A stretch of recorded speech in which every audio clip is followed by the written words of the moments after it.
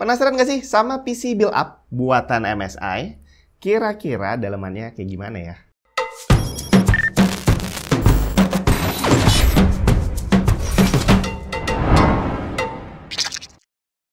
Di kantor saya yang lama, itu PC-nya kebanyakan adalah PC, bukan kebanyakan sih, kayaknya malah semuanya itu pakai PC build up atau kita sering nyebutnya PC pre-build gitu ya.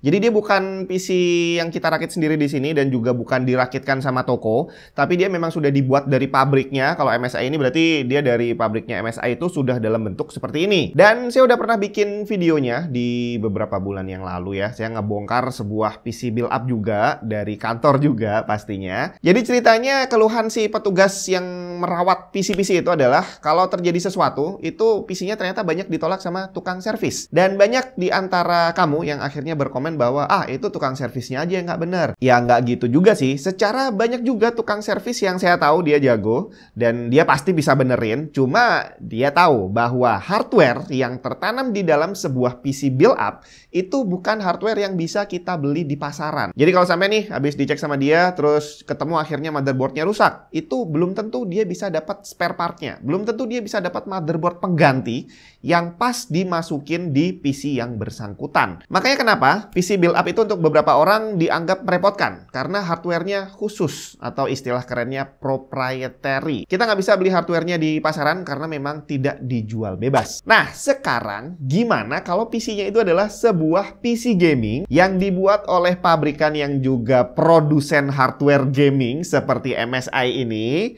Kira-kira apakah hardware yang terpasang di dalamnya itu adalah hardware yang juga mereka jual bebas di pasaran atau hardware khusus? Di sini kita bakal lihat sendiri, ini adalah MSI MPG Trident AS12TG. Dan dia dipasangin sama monitor canggih juga dari MSI Optix MPG 321 URQD. Kita langsung lihat dari PC-nya dulu aja ya.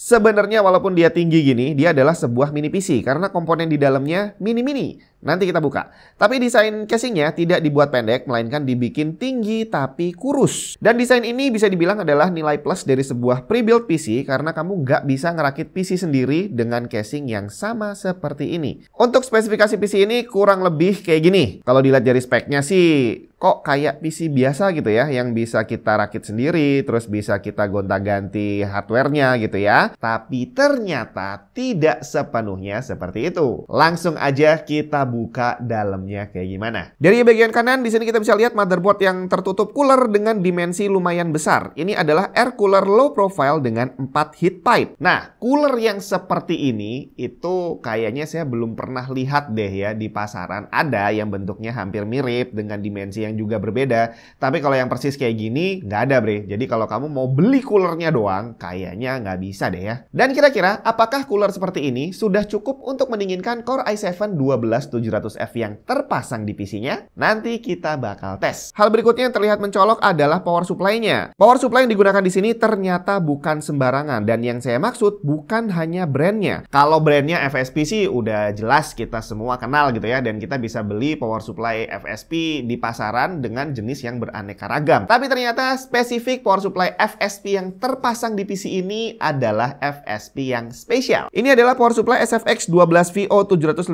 watt pertama di dunia dia dirilis baru akhir November 2021 lalu, comply dengan standar ATX 2.52, 80 plus Gold full range voltase 110 sampai 240 VAC, power factor correction 0,99, smart fan speed control untuk silent operation, dan fitur lain yang pastinya nggak kalah cakep. Cuma sayangnya, power supply ini kayaknya bukan diproduksi untuk konsumen massal gitu ya. Dia dibuat hanya untuk OEM dalam kasus PC pre-built seperti ini. Termasuk ada satu hal yang berbeda, biasanya kalau motherboard yang yang udah punya WiFi dan Bluetooth itu di bagian back panel ada colokan untuk masang antena gitu ya. Tapi di motherboard ini nggak ada. Jadi dia udah ada WiFi sama Bluetooth, tapi antenanya terpasang di dalam casing. Jadi dia tersembunyi di balik front panel. Kemudian untuk CPU-nya dia menggunakan Core i7 12700F yang kalau kita buka ternyata dia adalah uh, eh, CPU biasa. Jadi artinya di sini kalau kita mau upgrade atau mau ganti masih bisa dilakukan sendiri. Kemudian untuk RAM-nya menggunakan 32 GB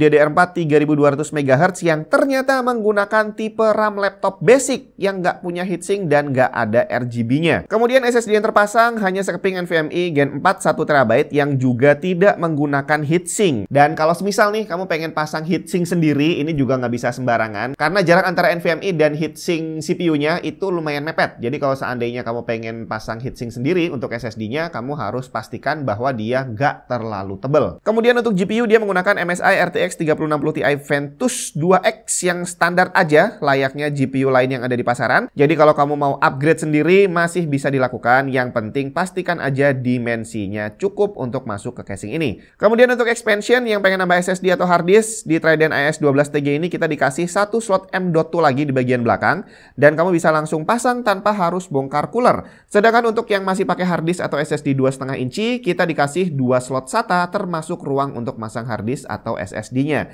Cuma untuk masang kabel SATA-nya agak ribet karena dia ngumpet. Jadi kita harus bongkar dulu cooler CPU-nya baru bisa pasang kabel SATA. Sebelum kita lihat thermal performance, jadi dengan ruangan yang sesempit ini, apakah kira-kira dia panas atau enggak? Tapi kalau dari bayangan saya sih harusnya nggak terlalu panas, karena ruangan untuk GPU dan CPU dia terpisah. Jadi GPU-nya ada di sebelah kiri dan CPU-nya ada di sebelah kanan. Tapi sebelum kita lihat hasil tesnya, kita bahas dulu sedikit tentang monitor ini. Ini adalah MSI Optix MPG 321UR QD dan dia adalah salah satu best gaming monitor 2021 versi Tom's Hardware. Ini adalah monitor 32 inch 4K 144 Hz dengan HDR 600 support. Sekarang ini gaming 4K itu sudah hampir menjadi mainstream dan ini kayaknya udah ada di depan mata. Jangan salah ya, zaman dulu Full HD itu juga masih mahal.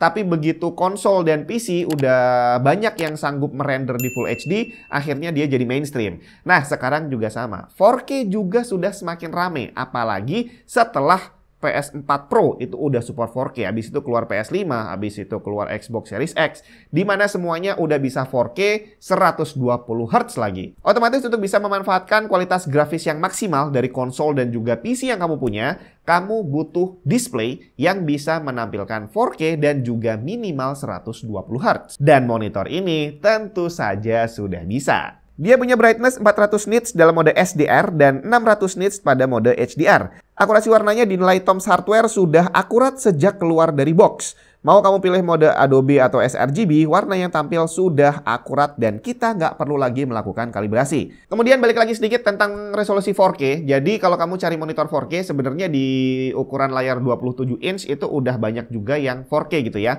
Tapi untuk bisa memanfaatkan ruang kerja yang lebih banyak, jadi ceritanya 4K itu kan dia eh, empat uh, kali lebih banyak gitu ya ruangnya dibandingin Full HD.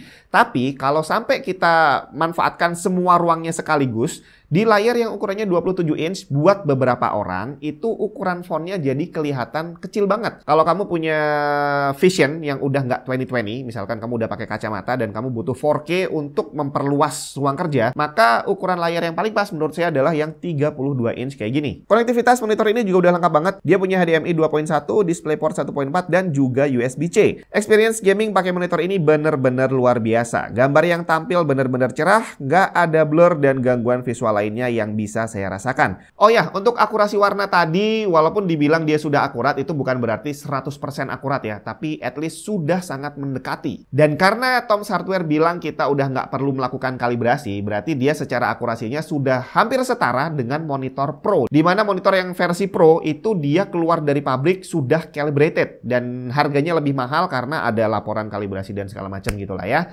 Nah, untuk itu Tom's Hardware menyebut monitor ini sebagai monitor gaming dengan dengan fitur Pro. Dan yang bikin dia lebih menarik adalah harganya gak semahal monitor Pro. Nah, sekarang kita lihat hasil tes thermal performance dari PC ini. Ini satu contoh saat PC ini saya gunakan untuk ngerender video ya. Jadi di sini kita bisa lihat bahwa penggunaan CPU itu ada di angka sekitar 50-60% naik turun, kemudian GPU-nya ada di angka ya 80-90 persenan lah ya.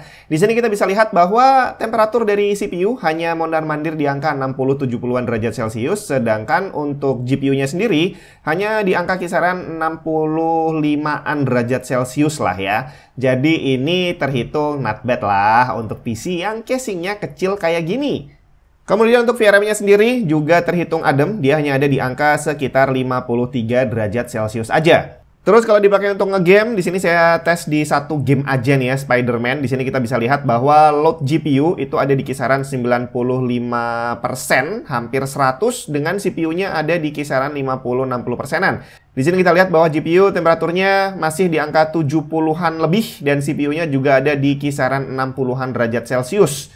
Jadi gimana? Lebih baik ngerakit sendiri atau beli gaming PC yang udah pre-built kayak gini? Ada satu hal lagi yang perlu kamu perhatikan, yaitu soal garansi. Kalau kamu ngerakit PC sendiri, itu berarti setiap partnya kamu beli terpisah dan dia berarti berasal dari distributor yang berbeda. Artinya kalau sampai PC kamu nanti setelah jadi, terus ada masalah gitu ya, kamu nggak bisa langsung bawa ke toko untuk dibenerin atau diklaim garansi. Yang perlu kamu lakukan adalah mencari dulu part mana yang bermasalah, baru habis itu dilepas dan diklaimkan garansi. Jadi kalau sampai PC kamu mati, ya kamu harus tahu apakah yang mati itu motherboardnya, atau power supply-nya, atau GPU, atau yang lainnya. Sedangkan kalau kamu pakai PC pre-built seperti ini, garansinya langsung gelondongan satu unit. Begitu rusak, langsung kamu bawa ke service center dan mereka yang akan mencari penyebabnya apa, yang bermasalah apa, dan mereka yang akan ngeberesin semuanya. Garansinya 2 tahun, tapi saya udah konfirmasi langsung ke MSI bahwa di luar masa garansi, kalau sampai terjadi kerusakan, mereka masih bisa membantu untuk servis, tapi dengan ada tambahan biaya servis pastinya. Dan ini beda dengan PC rakitan. Misalkan kamu beli PC rakitan dan motherboardnya punya garansi 2 tahun, tapi ternyata dia rusak setelah garansinya habis. Itu biasanya kalau kamu bawa ke distributor, bakal ditolak. Jadi mereka nggak bisa bantuin servis untuk barang yang sudah di luar masa garansi. Seandainya ada yang mau, berarti kamu sedang beruntung. Terus ada satu lagi, tadi kita udah lihat bahwa beberapa part di dalamnya bisa kita upgrade sendiri, seperti CPU, terus RAM kalau kita mau, habis itu GPU-nya juga bisa. Nah, enaknya di sini kalau kamu mau upgrade sendiri, dari MSI bilang tidak akan menghanguskan garansi selama kamu bisa melakukan upgrade-nya dengan benar. Jadi kalau kamu misalkan nyopot CPU dan ternyata malah bikin pinnya bengkok, nah itu baru bakal jadi masalah. Jadi kalau kamu misalkan pengen upgrade tapi nggak bisa melakukan sendiri, gampang aja, kamu beli aja partnya, habis itu bawa ke MSI Center, kemudian kamu minta tolong sama mereka untuk dipasangin. Dan untuk lokasi service center dari MSI ini di Indonesia sudah ada di banyak kota besar, kamu bisa cek aja di link di bawah, lihat aja di kota kamu apakah ada di dalam list itu atau enggak. Yang pasti dengan membeli PC pre-built seperti ini, kamu akan terbebas dari susahnya ngerakit PC sendiri. Karena kita semua tahu bahwa ngerakit PC itu walaupun udah jadi, belum tentu bisa langsung nyala. Dan walaupun udah nyala, belum tentu bisa nyala dengan sempurna gitu ya. Kadang-kadang masih ada settingan yang error, terus nggak bisa boot dan segala macam. Tapi kalau dengan PC pre-built seperti ini, kamu beli, Masuk ke rumah, nyalain, udah pasti langsung jalan. Apalagi di sini biasanya udah terinstall Windows ya, dan Windowsnya original pula. Jadi udah dijamin, kamu nggak perlu nyeting apa pun, tinggal colokin, pencet, nyala, dan langsung pakai. Jadi, mana yang lebih cocok buat kamu? Beli yang udah jadi atau ngerakit sendiri? Cuma kamu yang tahu, tapi yang pasti duitnya dulu yang penting ada.